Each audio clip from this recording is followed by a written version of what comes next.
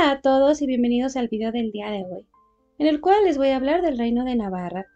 Este reino, que en algún momento también fue conocido como Pamplona, dejó de existir de forma independiente desde el siglo XVI. Sin embargo, en su tiempo, aunque era un reino muy pequeñito, jugó un papel primordial en la política de la Europa en la Edad Media. Sin embargo, además de contarles cómo es que este reino llegó a su fin, cómo terminó dividido y eventualmente desaparecido, yo al final también les voy a presentar a la persona que hoy podría reclamar el trono de Navarra y algunos otros descendientes de los gobernantes de Navarra.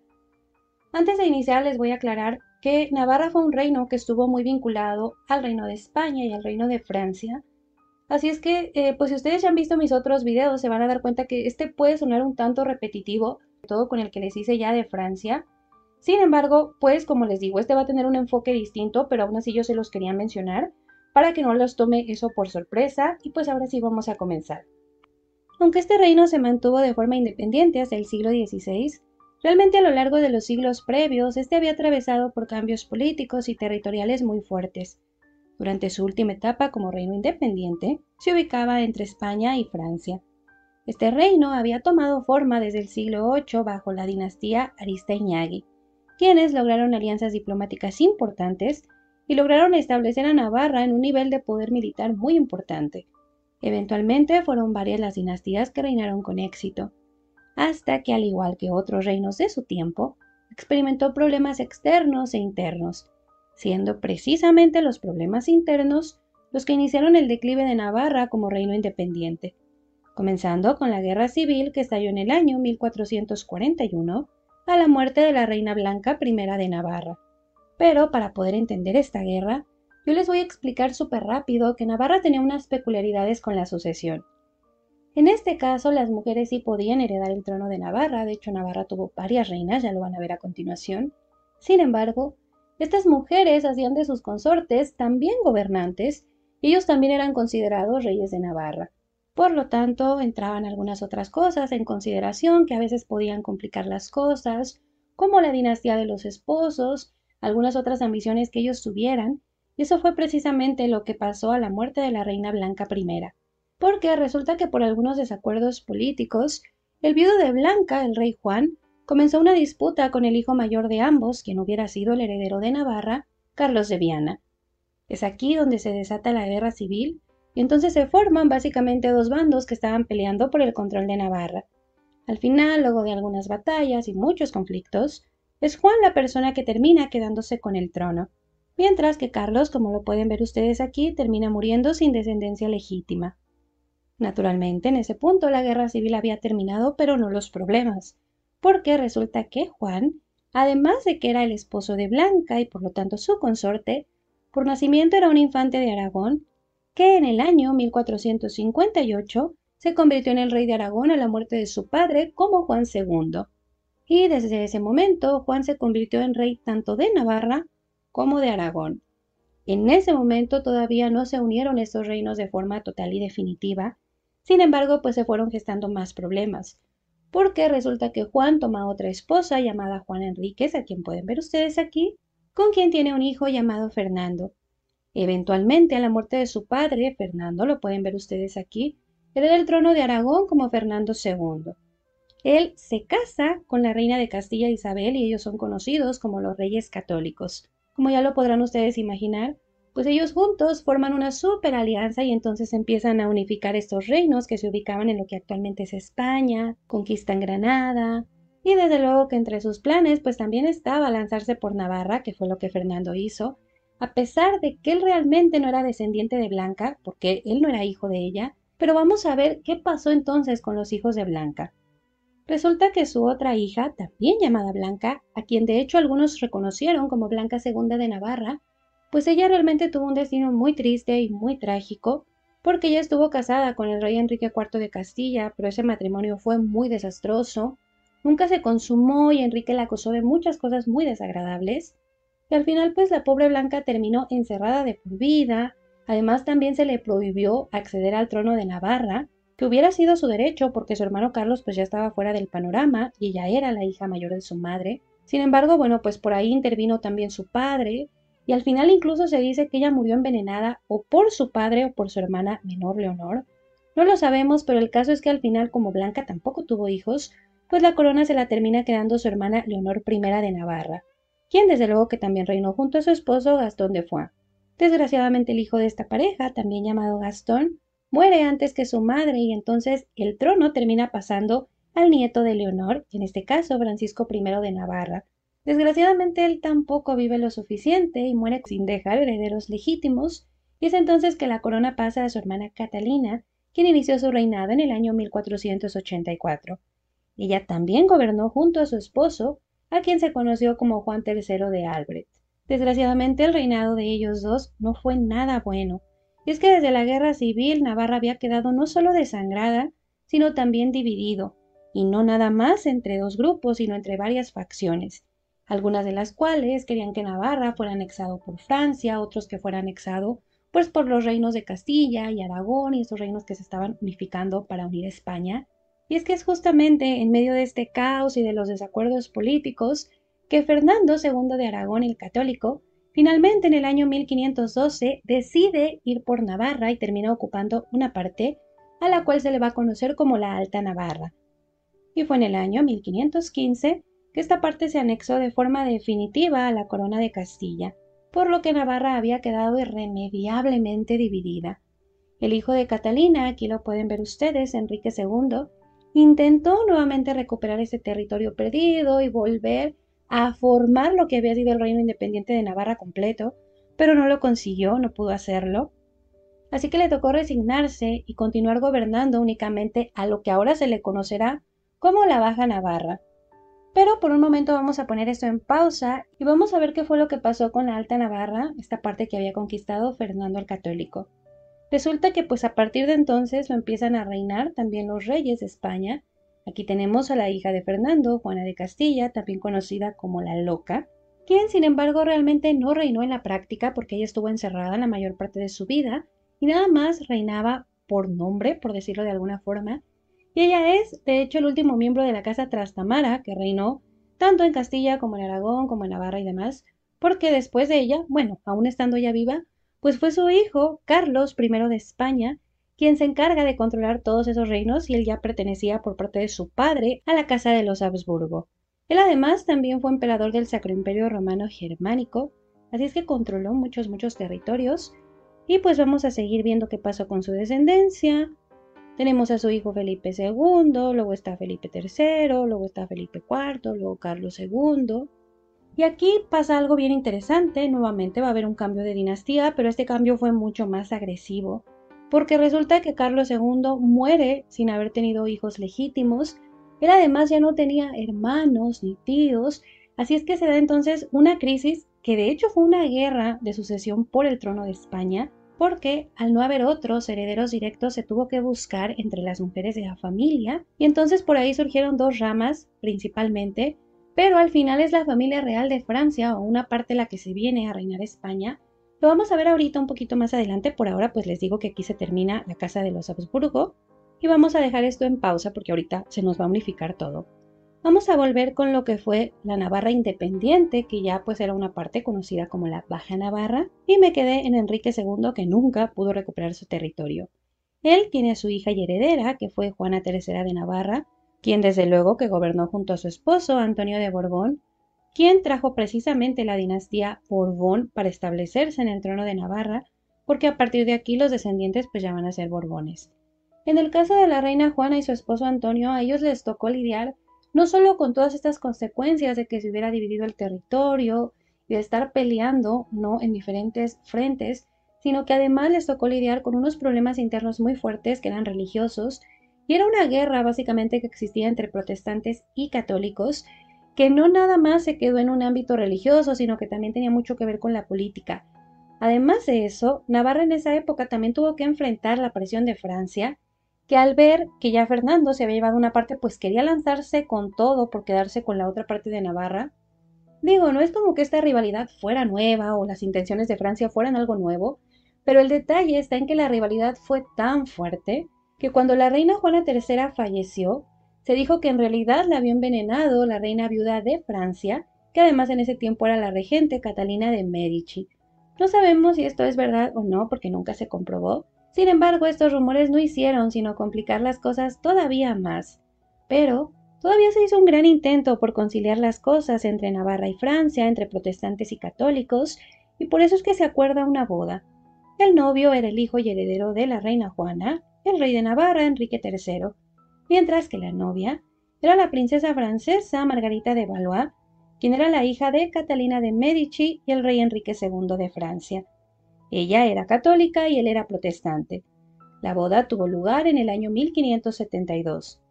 Pero aunque el objetivo de esta boda era crear paz o traer como una especie de alianza, la verdad es que no funcionó para nada. De hecho, todo el mundo estaba en contra del enlace, tanto las autoridades eclesiásticas, el pueblo, los nobles y hasta los novios que nunca se toleraron el uno al otro.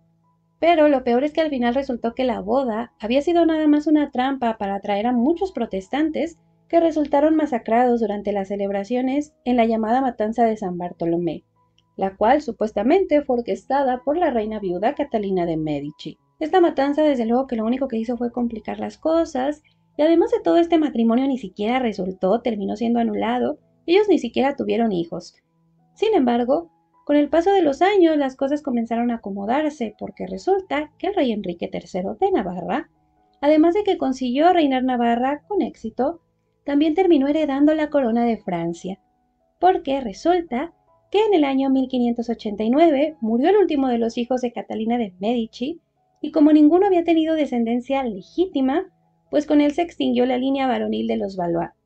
Y como Francia tenía vigente la ley sálica que excluía a las mujeres para poder heredar el trono, tuvieron que buscar algún heredero varón, ¿no? Entre el árbol genealógico, alguno que descendiera de otros reyes, para que pudiera ocupar el trono.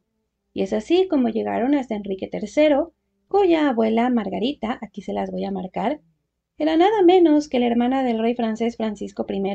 Así es que este Enrique que ustedes están viendo aquí pues pasó de ser solo rey de Navarra a ser también rey de Francia. En Francia fue conocido como Enrique IV.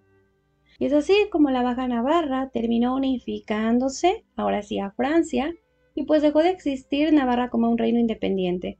Ahora los reyes de Francia, a partir de él, también se denominaban como reyes de Navarra. Y pues si nosotros seguimos la línea, aquí vamos a encontrar que no se interrumpió. Tenemos después al hijo de Enrique, que fue Luis XIII de Francia, cuyo hijo fue el famosísimo rey Sol Luis XIV. Pero aquí me voy a detener porque resulta que pasa algo muy interesante. Luis XIV se casó con nada menos que María Teresa, quien por nacimiento fue una infanta de España. Más específicamente, ella resulta ser la hermana de Carlos II, es decir, que también era hija de Felipe IV de España. Y efectivamente, ella fue una de esas mujeres a las que se buscó, no una vez que el trono quedó vacío, que no había ya más herederos directos en esta línea, y luego de una guerra, pues es finalmente María Teresa quien gana, o más que ella, pues su esposo es quien gana el trono de España para sus descendientes. No para él, porque no se podían unificar el reino de Francia y España. Bueno, en ese tiempo España era un imperio enorme. Así es que más bien él decide dejárselo a uno de sus descendientes, y aquí les voy a mostrar la división.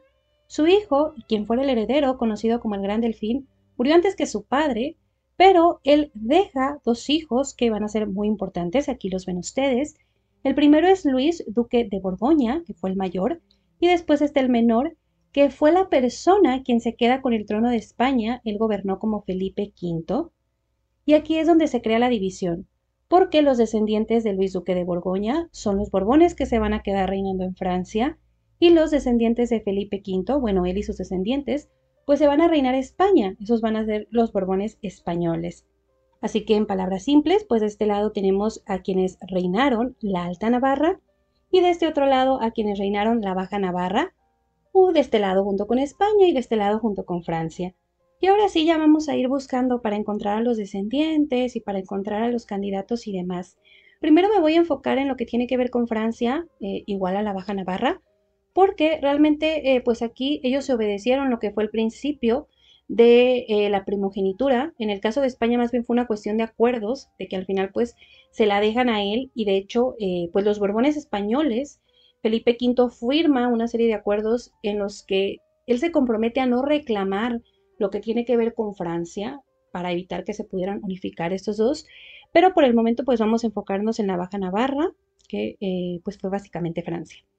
Y aquí vamos a ver que realmente quien hereda el trono después de Luis XIV, que resultó tener muy buena salud, fue su bisnieto Luis XV, también conocido como el Bien Amado, quien igualmente vive muchísimo tiempo y entonces pues su hijo y heredero muere antes, pero él deja tres hijos que son muy importantes para la historia porque resulta que el mayor de ellos fue el siguiente rey como Luis XVI y él es la persona que está en el trono cuando estalla la Revolución Francesa, cuando se derrocó básicamente la monarquía francesa y eso también incluye a Navarra.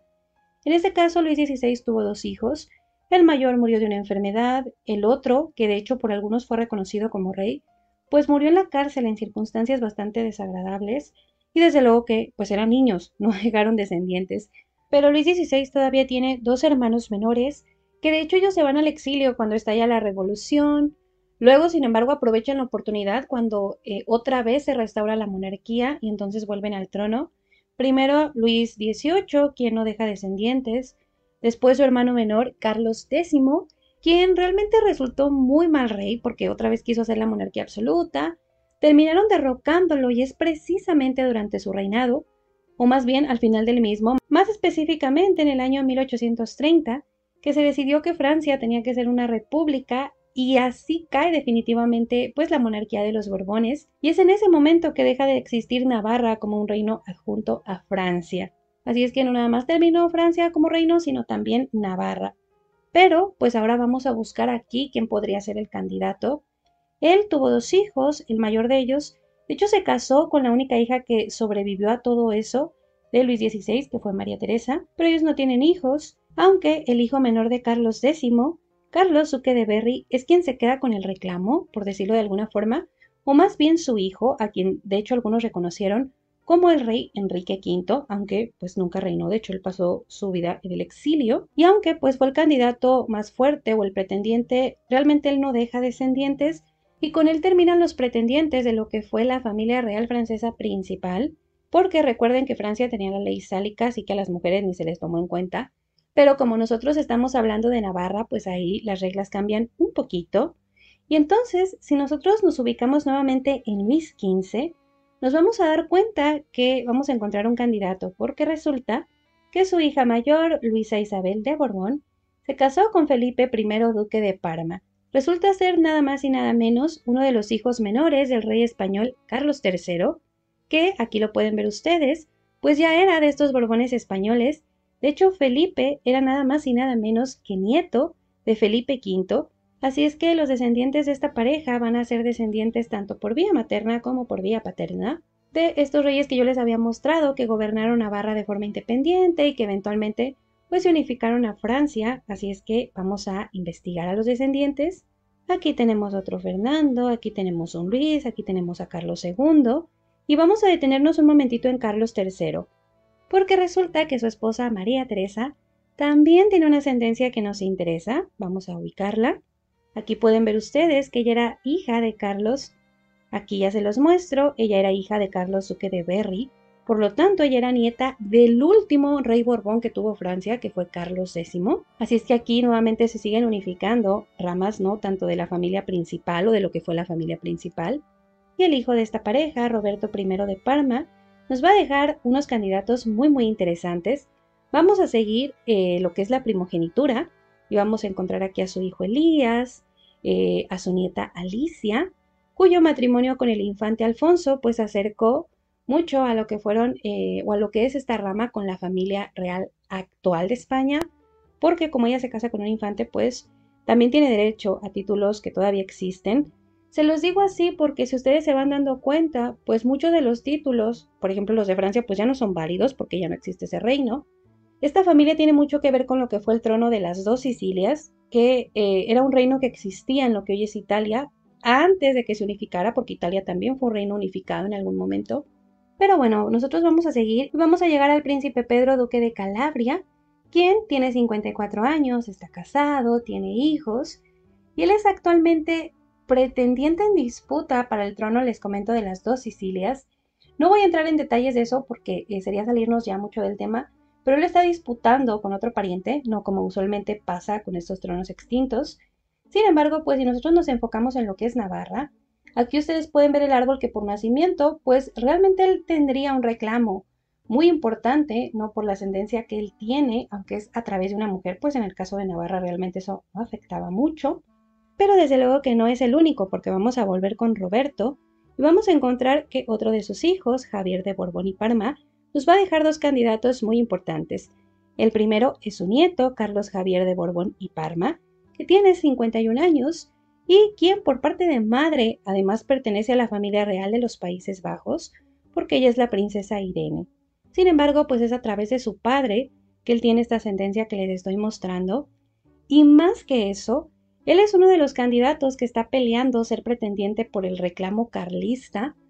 Esto tiene que ver también con la historia de España. Ya les hice también un video al respecto, más detallado, que es una situación que se da en algún momento eh, con España, en donde pues se reclama el trono y entonces se forman dos bandos, que digo, la corona de España pues tiene a su legítimo rey, pero sí surgió una división que no voy a entrar aquí en detalles porque es muy complejo, pero bueno, en resumen, pues la situación es que él está disputando ser el pretendiente carlista, así es como se les conoce al trono de España, y lo está disputando con nada menos que su tío, Sixto Enrique de Borbón y Parma, aquí lo pueden ver ustedes. Para algunas personas que todavía apoyan el carlismo, ¿no? O que le ven cierto sentido, pues es Sixto, para otros es Carlos, entonces, pues aquí está. Si quieren conocer más lo que tiene que ver con eso, ya les dejé un video al respecto, pero aquí igual se los menciono.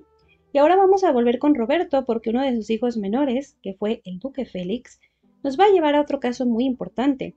Y es que resulta que Félix se casó con nada menos que Charlotte, quien fuera la gran duquesa de Luxemburgo. Y por lo tanto el hijo de esta pareja, Jan, fue el gran duque de Luxemburgo. Él ya falleció, pero su hijo es el actual gran duque de Luxemburgo, que es Enrique, aquí lo pueden ver ustedes. Él desde luego que también está casado, de hecho su esposa es nacida en Cuba, tiene ya sus hijos y todo, y claro que él no está peleando el trono de Navarra, ni mucho menos, pero también se los quería mencionar porque pues desde luego que también aquí va. Entonces aquí les dejo en esta parte pues cuatro candidatos muy interesantes o cuatro descendientes, digámoslo mejor así, porque pues no es como que ellos estén postulando para nada, pero bueno, aquí se los dejo, que desde luego no son los únicos. Y ahora vamos a conocer a otros y para eso vamos a ir siguiendo lo que fue la línea ¿no? de quienes reinaron en España. Vamos a comenzar por Felipe V. Aquí vemos que no se interrumpe realmente. Pero me voy a detener un momentito en Isabel II de España, porque además de que por aquí es donde surge el carlismo, pues aquí se da algo muy interesante. Digo, muchos problemas que por ahí pusieron en riesgo la monarquía española. Pero lo más importante es que hubo uno que tiene un impacto directo en Navarra, y es que el 16 de agosto de 1841 se establece a través de una ley que queda abolido el reino de Navarra y el territorio se convirtió de forma definitiva en una provincia de España. Así es que Navarra ya deja de existir de forma definitiva como un reino, digo, ya era una cuestión más ceremonial, eh, pero pues seguía, ¿no? Como conservando ese estatus y ahorita ya no ya se acerca a lo que es actualmente. Actualmente es eso, es una provincia que forma parte del Reino de España. Y si nosotros seguimos aquí a Isabel, después tenemos a su hijo, y vamos a llegar aquí hasta Alfonso XIII, porque aquí también otra vez ustedes ven que hay una división. Y esto ya se los he explicado, pero lo voy a repasar muy rápido. El hijo mayor del rey Alfonso XIII, que fue Jaime Duque de Segovia, por una cuestión de salud tuvo que abdicar sus derechos al trono para él y para su descendencia, de modo que sus descendientes que ustedes ven aquí, pues no han tenido nunca opción para reinar en España. Em, el descendiente actual, que de hecho es Luis Alfonso de Borbón, también es descendiente de Francisco Franco el dictador, esto por parte de madre. Pero otra cosa muy importante es que él además es pretendiente al trono de Francia. De hecho, sus seguidores le llaman Luis XX, que sería como la continuidad de los Luises. Y esto tiene que ver con el hecho de que sí, como ya se los expliqué, pues él es descendiente del rey Luis XIV a través de uno de sus hijos menores, aunque en orden de nacimiento pues esta rama es menor, o sea, veanlo ustedes aquí. Y además está la situación de que yo les dije que Felipe V cuando acepta la corona de España se compromete a que eh, pues no iban a tener derechos de sucesión sobre Francia con el objetivo de que no se unieran mm, esos dos reinos o ese imperio y ese reino. Pero aún así, bueno, este, ya saben que siempre se alegan cosas, que eso no y que sí, bueno. El punto es que él es pues un pretendiente al trono de Francia también aquí vemos que es descendiente de los reyes, antiguos reyes de Navarra. Y si volvemos con Alfonso XIII de España, vamos a encontrar que eh, uno de sus hijos menores, Juan Conde de Barcelona, es la persona o son sus descendientes los que conservan el reclamo legítimo. Y así es como vamos a llegar al rey actual, que es Felipe VI de España, casado con la reina consorte Leticia Ortiz. Desde luego que ellos tienen dos hijas, ¿no? Ya está por ahí la heredera al trono de España. Y pues más allá de que desde luego que también desciende de los reyes de Navarra, cuando era Navarra independiente, pues como rey de España, desde luego que también es rey de lo que alguna vez fue eh, la Alta Navarra, hoy siendo una provincia como parte de España, pues él es el gobernador de ahí, eh, ya hablando de la actualidad, así es que también se los coloco por aquí. Más que un pretendiente al trono, pues él es la persona que realmente hoy, hoy, digamos que eh, Navarra siguiera siendo un reino, tendría el título de rey de Navarra como rey de España. Pero bueno, eh, también les quiero mostrar otro candidato interesante que lo vamos a encontrar desde Carlos III de España. Una de sus hijas menores, que fue María Luisa de Borbón, se casa con el emperador del Sacro Imperio Romano Germánico, Leopoldo II, y su hijo pues es el siguiente emperador, Francisco. Si lo seguimos vamos a llegar hasta el último emperador que tuvo Austria, que fue Carlos I. De aquí podremos encontrar algunos candidatos que ya les he mencionado, pero yo me voy a enfocar en una mujer que desciende a través de su hijo Roberto de Austria y de la hija de este de María Beatriz, porque resulta que aquí vamos a encontrar a Olimpia, quien está casada con nada más y nada menos que Juan Cristóbal Bonaparte. Ellos ya tienen hijos actualmente que, como ustedes pueden notar aquí por parte de madre, pues están conectadas a los reyes de Francia, a los reyes de Navarra y demás, pero que por parte de padre están conectados con una personita que alguna vez reinó Francia, que alguna vez conquistó gran parte de Europa, que instaló a su hermano en el trono de España, y ese es nada más y nada menos que Napoleón Bonaparte aunque hay que aclarar que Juan Cristóbal no es descendiente directo de Napoleón. Yo les voy a mostrar exactamente la conexión, vamos a movernos, lo puse aparte porque si no se me iba a enredar horrible aquí. Y realmente pues ellos no tienen que ver con esta familia real por ascendencia, pero se los voy a explicar. Aquí tienen ustedes al señor Napoleón Bonaparte y al que fue su único hijo y heredero Napoleón II, que realmente no reinó, y quien sin embargo pues no deja descendientes legítimos por lo menos reconocidos y lo digo así porque se dijo, o se dice todavía mucho, que Maximiliano I de México, quien fue el emperador de México, que era de los Habsburgo, pues fue hijo suyo, pero legítimamente o oficialmente no es así, digo, ese es un chisme al final de cuentas. Entonces, pues lo que sabemos oficialmente es que aquí ya no hay descendencia. Entonces, eh, Napoleón pues no tiene descendencia, no hay descendientes directos de él, por lo menos conocidos. Sin embargo, pues eso no detuvo a los Bonaparte, porque resulta que su sobrino, que era hijo de su hermano Luis Bonaparte, quien fue rey de Holanda. En este caso, otro Napoleón, él reinó en Francia también como Napoleón III. En algún momento, de hecho, logró otra vez restaurar la monarquía. Digo, no tuvo éxito, pero lo hizo. Aunque al final también su descendencia se interrumpe y ya no hay descendientes aquí. Pero ellos todavía tenían aquí, eh, Napoleón tenía todavía otro hermano, que de hecho fue rey de Westfalia por muy poco tiempo, y ese fue Jerónimo Bonaparte. Él, su descendencia sí tiene continuidad y la vamos a ir siguiendo, la vamos a ir siguiendo y vamos a llegar precisamente a Juan Cristóbal Bonaparte, que como les digo, no es descendiente directo de Napoleón, sí está conectado, claro, pero no es directo, aunque aún así él se conserva o se mantiene como el jefe de la familia Bonaparte. Él es mucho más discreto en sus declaraciones, no es como que pretende eh, algún trono, pero sí se le considera pretendiente, no de la casa Bonaparte al trono, por lo menos de Francia, que como en ese tiempo incluía Navarra, pues también aquí se los incluyo, sobre todo porque creo que eh, pues el hijo y heredero de esta pareja va a tener pues una ascendencia, no digamos reclamo, una ascendencia interesante, vamos a decirlo así. Y ahora sí les voy a mostrar ya el último de los candidatos, el último de los descendientes. Y para encontrarlo, por favor acompáñenme, vamos a ubicarnos de nuevo en el rey Luis XIII de Francia, porque él nada más tuvo dos hijos, el mayor fue el rey Sol, que ya les mostré todo lo que tiene que ver con su descendencia, pero el menor de ellos fue Felipe I, duque de Orleans, quien de hecho funda precisamente esta rama de los Orleans o esta dinastía. Claro que ellos son borbones también, pero pues se les da no esta diferencia o se diferencian siendo de la casa de Orleans. Y ahí se mantuvieron ellos, digo, poco a poco ustedes veanlo, se fueron alejando del centro de la familia real de Francia, no de la principal. Sin embargo, pues ahí se mantuvieron y tan se mantuvieron que en algún momento Luis Felipe I, aquí veanlo, este descendiente, él fue rey de los franceses cuando otra vez Francia intenta por enésima vez pues restaurar la monarquía, él fue la persona que estuvo ahí, tampoco tuvo éxito y terminó pues siendo derrocado, pero al final de cuentas pues sí se quedó con el trono por algún tiempito. Y si nosotros seguimos a su descendencia, bueno, por aquí se terminó, pero eh, vemos cómo va pasando. Y vamos a llegar hasta Juan de Orleans, conde de París. Esto de conde de París es como pues es cortesía porque realmente títulos nobiliarios en Francia ya no existen o no tienen esta validez porque ese reino ya no existe. Y él es un candidato muy importante porque él también es pretendiente al trono francés. Eh, sus seguidores son conocidos como los orleanistas, ¿no? Por esta rama que les digo que se creó a partir de Felipe I. En este caso, pues él lo que alega es que él está conectado a quien fuera realmente el último que reinó Francia, que fue Luis Felipe I, y que además, pues por línea masculina realmente en el caso de ellos nunca se ha interrumpido. Ellos nunca firmaron un acuerdo para que la sucesión no pudiera pelear el trono de Francia ni de Navarra, o sea, ese acuerdo en su caso nunca se hizo. Así es que pues muchos le dan peso a su reclamo y consideran que es el que tiene realmente el mejor reclamo de todos. Y además como dato curioso, su hermana, aquí la vamos a ver, resulta ser la madre del príncipe Pedro Duque de Calabria, aquí la pueden ver, van a ver ustedes la conexión, Así es que pues aquí obviamente se vuelve a cerrar ¿no? el vínculo entre la familia, aquí lo ven ustedes. Así es que pues aquí están, ya se los voy a ampliar un poquito más para que lo puedan ver con más claridad.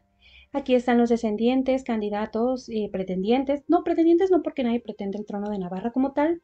Sí el de Francia, en este caso, este, pues este hombre que se hace llamar Luis XX y este otro hombre de la Casa Orleans. Están estos otros dos que pretenden eh, lo del carlismo, Digo, Enrique, Gran Duque de Luxemburgo, no pretende nada porque él tiene el trono de Luxemburgo. En este caso, pues Pedro, lo que tiene que ver con el reino de las dos Sicilias. Y pues yo se lo muestro, ya saben ustedes que es más como una curiosidad, ¿no? Un dato curioso, porque me gusta también ver otras formas en las que se conectan estos personajes actuales de la realeza o de la nobleza, o que pretenden ser de la nobleza, porque no todos lo son. Pero aún así, eh, y también, ¿no? Como que, eh, pues de repente es curioso cómo es que terminan algunos reinos y cómo es que todavía hay personas que los pretenden, digo en este caso no, pero pues de las dos Sicilias, esto del carlismo, de Francia y demás. Y pues no sé, ustedes díganme chicas y chicos, ¿qué pretendiente creen ustedes que sería el más adecuado? Vamos a imaginarnos, ¿no? Que Navarra pasa algo muy extraño en el mundo y Navarra vuelve a surgir como un reino independiente. Yo creo que sería el príncipe Pedro. Y pues nada, yo espero que de verdad les haya gustado, que les haya entretenido, que este es el punto de los videos de repente me tachan de loca, yo no estoy diciendo que, va a pasar. Yo sé perfectamente que estoy hablando de una historia completamente diferente, de una época distinta, de un momento diferente, pero yo lo hago nada más por diversión. Y pues espero que les haya entretenido mucho el video y eso es todo de mi parte. Muchísimas gracias chicos y chicas. No se olviden de comentar y también de compartir.